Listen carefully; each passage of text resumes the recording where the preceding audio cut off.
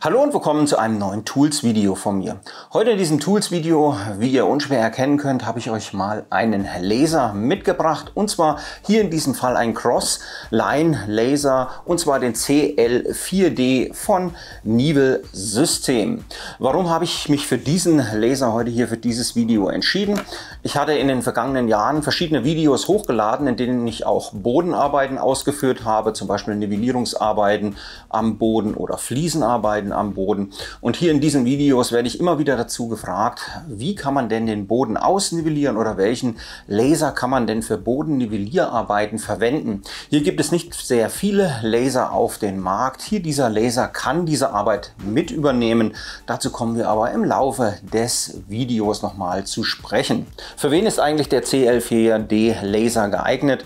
Der CL4D Laser ist für einen ambitionierten Heimwerker, Handwerker, Bauschaffenden oder eventuell dementsprechend auch Gewerbetreibenden geeignet, der für einen akzeptablen Preis hier noch ein gutes System erhalten möchte. Wo kann man das System kaufen? Ganz einfach, dieses System hier wurde mir von messprofiservice.de zur Verfügung gestellt. Link wie immer zu allen Produkten unten in der Videobeschreibung. Bevor wir uns allerdings jetzt auch den Laser näher anschauen, noch ein wichtiger Hinweis. Diesen Laser gibt es in zwei Laserfarben. Zum einen als Grünlinienlaser und natürlich zum zweiten auch als Blaulinienlaser. Wie kann man das erkennen? Ganz einfach, wir schauen hier mal seitlich auf die Packung. Es gibt den CL4DG, das steht für grün, und den CL4DB, das steht für, wie man hier schon sieht, blau. Diese Laserfarben oder was ist der Unterschied zwischen den Laserfarben? Das blaue Laserlicht ist etwas präziser als das grüne Laserlicht, wird also etwas schmaler dargestellt und ist natürlich auch für längere Arbeiten eher zu empfehlen, da es ermüdungsarmer ist beim Anschauen. Das heißt, ihr ermüdet nicht so schnell beim Arbeiten mit dem Laser. Das ist eigentlich der einzige Unterschied im Großen und Ganzen, die Genauigkeit und alle weiteren Features sind bei den Systemen gleich, bis halt auf die Laserfarbe mit den gerade eben genannten Vorteilen. Um den Laser dann dementsprechend auch optimal zu verwenden, gibt es natürlich noch Zubehör. Wir haben hier noch ein Empfängermodul. Dieses Empfängermodul ist für Grün sowie auch für Blaulaser geeignet. Hierzu empfiehlt es sich, den Laser in den Pulsmodus umzuschalten und somit können wir dann auch die Reichweite des Lasers nochmal deutlich erhöhen. Also wie gesagt, hauptsächlich im Außenbereich wird sowas gerne eingesetzt. So können wir dann, wie gesagt, auch auf große Entfernungen noch genau nivellieren und genau arbeiten. Um mit dem Laser auch dementsprechend zu arbeiten, empfiehlt es sich auch ein dementsprechendes Stativ mit zu erwerben. Auch dieses habe ich hier einfach mal mitgebracht und so können wir dann auch mal den Laser auf einem Stativ ausprobieren. Beginnen wir als erstes mit dem Lieferumfang. Wie wir sehen, der Laser kommt in einem äußerst robusten Transportkoffer daher, in dem wir eigentlich alles schon finden, was wir für die Arbeit brauchen. Wir können den Koffer einfach hier vorne öffnen. Er hat hier auch ein dementsprechendes Verriegelungssystem, sodass ihr den Laser auch beim Transport nicht verlieren könnt. So, wir schauen einfach mal in den Koffer hinein. Hier seht ihr gleich die Dokumentation und hier liegt gleich ein ganz wichtiges Dokument oben drauf. Wir sehen, wir haben hier einen Sturzindikator. Ich möchte einfach mal vorweggreifen und euch den Laser mal herausholen und ihr seht, hier ist ein Sturzindikator aufgeklebt. Wenn also hier beim Transport des Lasers oder auch bei der Lieferung des Lasers in irgendeiner Form das Paket sehr starken Beanspruchungen ausgesetzt war, wird dieser Indikator auslösen und ihr seht somit sofort, dass der Laser dann eventuell vor der Verwendung wieder überprüft werden muss. Diese Überprüfung könnt ihr natürlich hier auch beim Händler beim Messprofiservice.de durchführen lassen, wenn diese erforderlich ist. Der Indikator bleibt auf dem Laser, ihr lasst ihn hier aufgeklebt und wenn dann der Laser eventuell mal umgestoßen wird oder von irgendeinem Mitarbeiter umgeschmissen wird, seht ihr das anhand des Indikators und könnt dann dementsprechend reagieren. Habt ihr sowas nicht auf eurem Gerät und irgendein Mitarbeiter wirft den Laser um, stellt ihn wieder schnell auf, wisst ihr das nicht und dann könnten Messungenauigkeiten auftreten. Kommen wir aber nochmal zurück zur Dokumentation. Hier gibt es auch ein ganz wichtiges Dokument, was ich euch auch nochmal zeigen möchte. Darauf sollte man generell achten, wenn man Laser im hochpräzisen oder im präzisen Bereich einsetzt setzt und natürlich auch im gewerblichen Bereich einsetzt. Und zwar wäre das dieses Dokument. Ich halte das Dokument einfach mal in die Kamera. Hier seht ihr das individuelle Kalibrierungszertifikat. Dieses Zertifikat stellt sicher, dass dieser Laser vor dem Verkauf ordentlich kalibriert wurde. Viele günstige Laser haben so ein Zertifikat nicht und nur somit könnt ihr sicherstellen, dass dieser Laser auch dementsprechend messgenau arbeitet, wenn er hier bei euch ankommt. Als nächstes schauen wir uns erstmal den Lieferumfang an. Ich möchte euch den Laser dann nochmal genauer erklären, deswegen schauen wir erstmal auf das Zubehör. Dieser Laser hier wird Akku betrieben.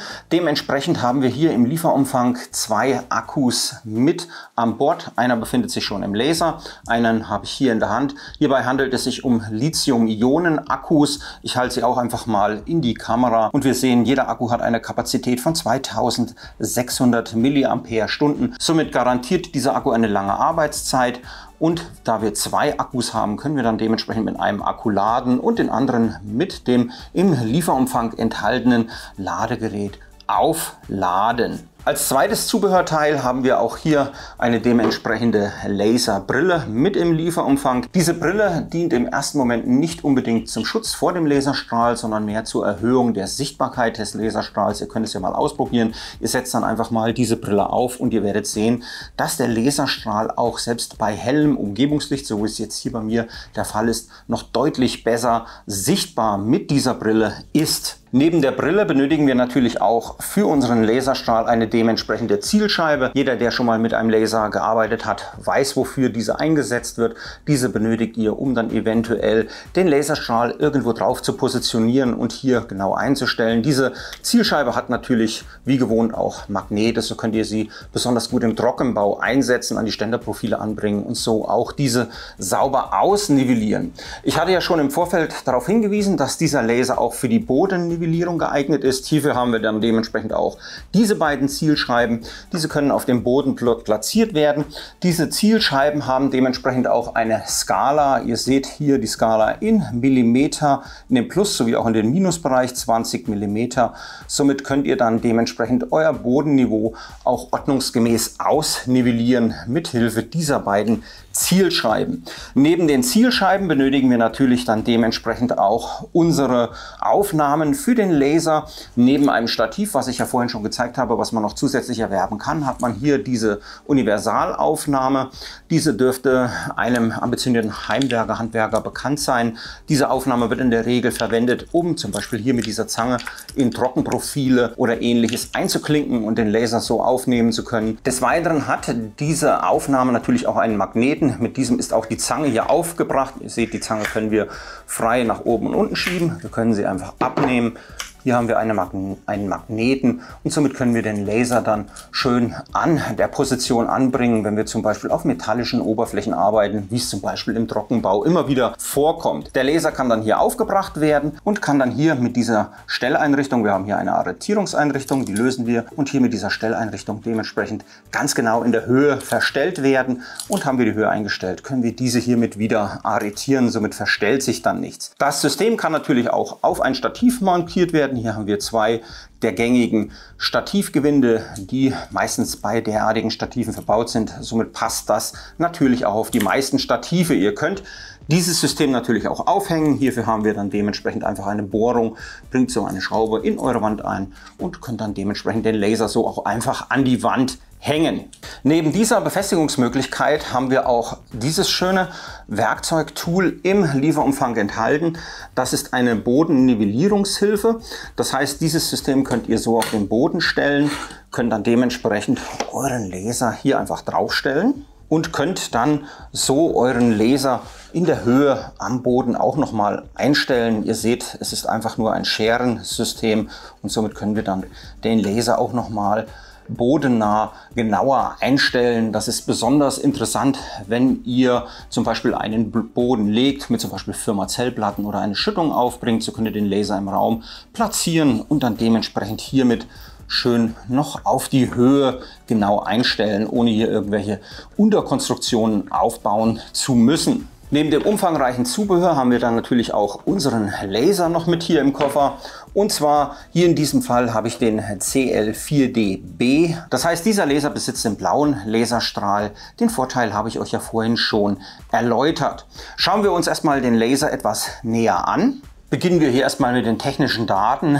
Dieser Laser weist eine Genauigkeit von 1 mm auf 10 Meter auf und kann maximal bis einen Durchmesser von 140 Metern leisten. Das heißt, ihr seid also für die meisten Bauanwendungen hiermit gut gewappnet. Bei diesem Laser wurden Premium-Laserdioden von Sharp verbaut. Ihr seht sie hier.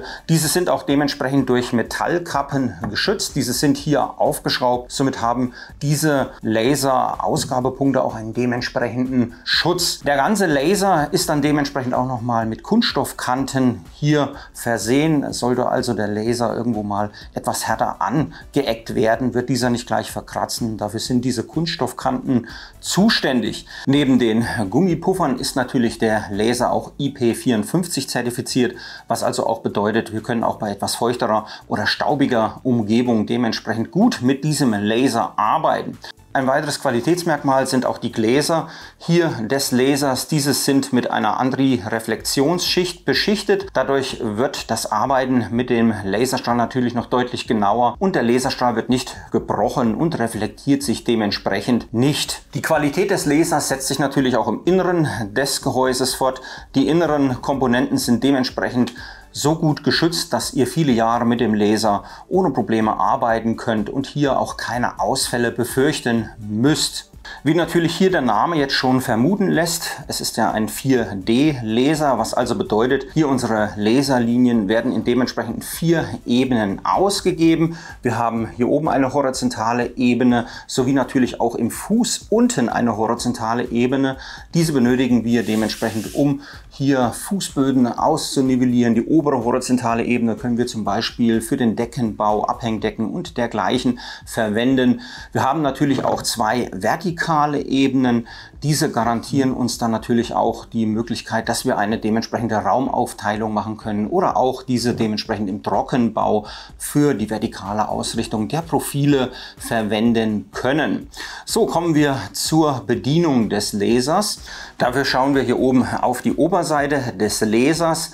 Wir sehen, der Laser kann hier mit dem On-Off-Schalter eingeschaltet werden. Wir haben hier ein kleines blinkendes Licht. Dieses zeigt uns an, dass der Laser im Moment noch nicht nivelliert ist. Wir sehen, dass die Nivellierung gerade eben ausgeführt wird und durch das Blinklicht lässt sich auch gleich vermuten, wir haben hier einen elektronischen Kompensator, das heißt der Laser wird elektronisch ausgerichtet. Das hat natürlich viele Vorteile. Somit haben wir eine deutlich präzisere Ausrichtung als bei einem herkömmlichen Laser mit einer Pendelausrichtung und dies ist natürlich deutlich genauer und der Laser kann somit auch dementsprechend Schwingungen kompensieren. Dazu komme ich ich aber gleich noch. Wir sehen, wenn der Laser dementsprechend einsatzbereit ist, leuchtet das grüne Lämpchen durchgehend grün und jetzt ist der Laser nivelliert. Wir haben natürlich nun unsere Laserebenen, diese können wir wie gewohnt ein- und ausschalten. Hier drücken wir die H-Taste für die horizontalen Laser. Das heißt, wir haben jetzt hier den oberen horizontalen Laser eingeschaltet. Wenn wir die H-Taste nochmal betätigen, wird dieser wieder ausgeschaltet. Bei weiteren Betätigen schalten wir dann durch die weiteren Laser, wie zum Beispiel hier unten den horizontalen Laser für die Bodennivellierung. So könnt ihr diese Laserstrahlen einschalten, wie ihr sie braucht. Des Weiteren können wir natürlich auch die vertikalen Laser noch hier mit dieser Taste hinzuschalten. Einfach durch einfaches Durchdrücken die einzelnen Strahlen ein- und ausschalten. Im Großen und Ganzen ist das eigentlich selbsterklärend. Wir haben natürlich auf der Oberseite auch eine Akkustandsanzeige. Diese zeigt uns den Ladestand des Akkus an, so könnt ihr dementsprechend schneller eingreifen, wenn der Akku dann erschöpft ist. Dann kommen wir natürlich noch zu dem Outdoor-Modus. Dieser sogenannte Puls-Modus wird gerne im Außenbereich verwendet oder bei größeren Entfernungen. Hierfür kommt dann dementsprechend der Empfänger noch zum Einsatz. Ich empfehle hier den Empfänger CLS 3 dieser Empfänger wird durch einen einfachen 9-Volt-Block betrieben, hat im Großen und Ganzen dieselben Schutzeigenschaften wie der Laser auch. Wir haben hier dann dementsprechend noch eine Aufnahme für die Montage, zum Beispiel an einer Messlatte oder an einem ähnlichen Objekt, um jetzt zum Beispiel das System dann auch im Außenbereich zum Nivellieren zu verwenden. Wir setzen das Gerät einfach mal im Betrieb, indem ich die On-Taste drücke. Wir sehen, wir haben ein akustisches sowie natürlich auch ein optisches Signal. Das akustische Signal kann hier dementsprechend ein- und ausgeschaltet werden. Jetzt sind wir mit dem Laser im Normalbetrieb. Wir schalten hier oben die horizontale Linie einfach mal ein und wir schauen einfach mal, wir sehen, wenn ich jetzt hier versuche mit diesem Gerät zu arbeiten, hören wir kein akustisches Signal, sehen kein optisches Signal. Woran liegt das? Dieser Laser ist noch nicht in den Pulsmodus umgestellt. Dieser Pulsmodus wird hier als Outdoor-Modus bezeichnet. Ich möchte euch einfach mal zeigen, wie ihr darauf umstellt. Hierfür drückt ihr einfach die Outdoor-Taste einmal kurz. Wir sehen, dass hier diese zusätzliche LED-Lampe leuchtet. Und jetzt könnt ihr hier mit dem Handempfänger arbeiten, indem wir hier dementsprechend so ausnivellieren können und das natürlich auch Millimeter genau. Sollte hier der Ton stören sein, können wir diesen natürlich auch abschalten. Wie gesagt, vergesst also nicht, wenn ihr mit dem Handteil arbeitet, schaltet in den Autor-Modus um. Arbeitet ihr nicht mit dem Handempfänger, schaltet ihr natürlich wieder in den Normalmodus durch noch einmaliges Drücken. Dann kann man natürlich diesen Laser auch für individuelles Anzeichnen verwenden. Ihr kennt das vielleicht, wenn ihr irgendwo ein Gefälle anzeichnen wollt oder dergleichen. So können wir diesen Laserstrahl so auch natürlich umstellen. Wie machen wir das? Wir drücken einfach für circa drei bis fünf Sekunden die Outdoor-Taste, schauen hier oben auf die grüne LED. Wenn diese schnell blinkt, sind wir jetzt in den universalen Modus eingeschaltet. Ich zeige es euch einfach mal hier. Wir sehen jetzt hier die Laserlinie. Ich hoffe, man erkennt sie gut in der Kamera. Und jetzt kann ich hier mit diesem Laser diese Laserlinien frei im Raum positionieren ohne in irgendeiner Form eine Fehlermeldung zu bekommen. Also kann ich hier dann frei meine eigenen Winkel wählen. Hier kann ich natürlich dementsprechend auch die horizontalen und vertikalen Linien hinzuschalten, wie ich sie benötige. Ganz wichtig, wenn wir jetzt diesen Modus wieder verlassen wollen, drücken wir nochmal für einige Sekunden die Autor-Taste und schalten somit den Stabilisator wieder ein. Bei dem Stabilisator möchte ich euch auch noch mal etwas Schönes zeigen. Eine Besonderheit ist nämlich hier auch, dass der elektronische Kompensator auch kleinere Stöße und Vibrationen ausgleichen kann. Inwieweit sich das auswirkt, möchte ich euch einfach mal zeigen, indem ich hier einen Standard-Kreuzlinienlaser, der einfach nur einen Pendelmechanismus verbaut hat, hier daneben stelle.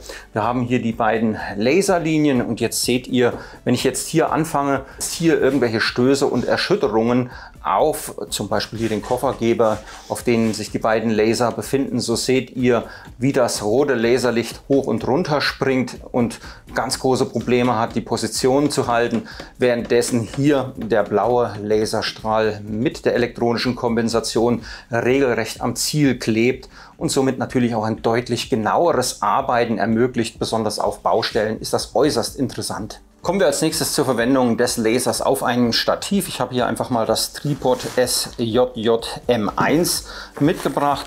Ihr seht, hier haben wir auch eine schöne dementsprechende Hülle für den Transport. Wir holen einfach mal das Stativ heraus. Wie schon der Name sagt, es ist ein Dreibeinstativ. Das Stativ kann standardgemäß 5 Achtel sowie natürlich auch ein Viertel Zoll Gewinde aufnehmen. Wir haben hier natürlich unseren Adapter. Dieser Laser hat hier unten ein, ein Viertel Zoll Gewinde. Dementsprechend schraube ich hier den Adapter auf. Wir können natürlich auch ohne diesen Adapter arbeiten, indem wir einfach hier dieses System verwenden. Ihr seht, hier haben wir auch dementsprechend eine 5 Achtel Zoll Aufnahme. Hier können wir auch den Laser aufbringen und so dann hier auf, auf unseren Stativ ohne diesen Adapter verwenden. Ich schraube aber einfach mal den Laser hier direkt auf. Dazu stelle ich einfach mal das Stativ auf und kann den Laser dann hier oben auf diese Wechselplatte einfach aufschrauben und mit dieser Schnellwechselplatte dann ganz einfach hier auf diesem Stativ montieren. Auf diesem Stativ können wir den Laser grob vorjustieren. Hier haben wir verschiedene Einstellmöglichkeiten.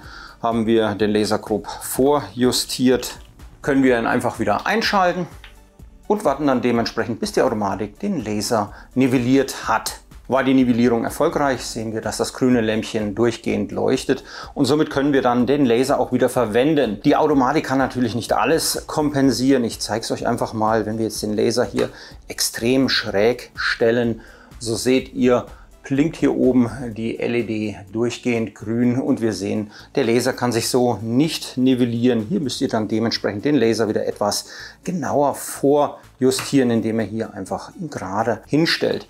Mit diesem Stativ können wir natürlich aber auch das freie Verwenden unserer Laserlinien realisieren. Das heißt, ich sperre einfach mal wieder die Laser, indem ich einfach den elektronischen Kompensator ausschalte. Hierfür wieder lange die Autor-Taste gedrückt halten, bis die LED schnell blinkt. Und jetzt seht ihr, wenn ich jetzt hier zum Beispiel meine Laserlinie frei verwenden will, kann ich das natürlich nun hier mit diesem Stativ realisieren und kann hier jeden beliebigen Winkel einstellen. Und dieses natürlich auch mit allen Laserlinien nutzen.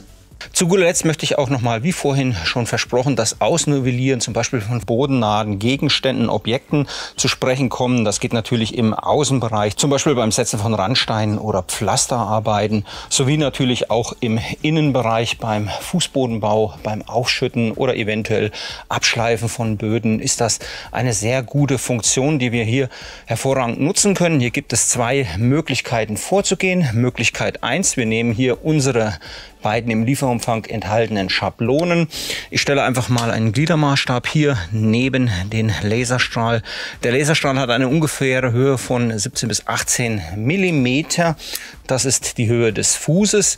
Wir können nun hier unsere Schablonen nehmen. Hier haben wir eine Maßskala aufgebracht und können dann dementsprechend diese Schablonen hier aufstellen und können dann so anhand der Striche das Höhenniveau an den einzelnen Stellen hier abnehmen und können dann hier dementsprechend nacharbeiten. Eine zweite Möglichkeit haben wir natürlich auch mit diesem Einstellfuß. Hier können wir den Laser drauf platzieren und somit den Boden ganz genau auslesern. Wir sehen, der Laser richtet sich aus und wir sehen, wir hätten jetzt hier eine Steigung in dieser Bodenplatte. Wir sehen, hier drauf wird der Laser reflektiert, hier reflektiert er nicht, also geht die Platte entweder nach oben oder unten. Wir können auch hier mal etwas nachjustieren und hier seht ihr, wie die Steigung quasi hier nach oben ansteigt und somit könnten wir dann dementsprechend jetzt hier abschleifen oder eventuell Aufschüttung herausnehmen um so ganz präzise nachzuarbeiten. Ihr seht, der Laserstrahl wird über die komplette Fläche projiziert und wir sehen jede Unebenheit. Hier haben wir zum Beispiel eine Erhöhung, hier haben wir wieder eine etwas tiefere Fläche und hier haben wir auch wieder eine etwas höhere Fläche. Und so können wir ganz genau nacharbeiten und so unseren Fußboden ganz genau ausrichten. Ihr seht, wenn ich hier drauf drücke, geht das dann dementsprechend nach unten und wir sehen das mit unserem Laserstrahl. So, damit bin ich auch schon wieder am Ende meines kleinen Tool-Videos um einer Produktvorstellung des Lasers von Nibel System, den CL4D, angekommen. Wie gesagt, alle Produkte, die ihr hier im Video gesehen habt, findet ihr unten in der Videobeschreibung. An dieser Stelle auch nochmal ein herzliches Dankeschön an messprofiservice.de, die mir diesen Laser zum Testen und Ausprobieren zur Verfügung gestellt haben. Hat euch mein Video in irgendeiner Form gefallen oder weitergeholfen, würde ich mich natürlich über einen Daumen hoch freuen. Wollt ihr noch mehr meiner Videos schauen? Kein Problem. Abonniert hier einfach meinen Kanal, denn Abonnieren auf YouTube ist natürlich kostenlos. Und wollt ihr keines meiner weiteren Videos mehr verpassen, so klickt doch einfach noch neben dem Abo-Button auf das Glockensymbol. Ich sage mal Tschüss, bis zum nächsten Mal. Euer Marc auf YouTube.